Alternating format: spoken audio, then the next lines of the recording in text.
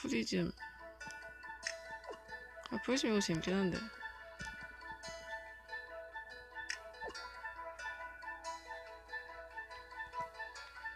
프리즘 말고 다른 거 가자.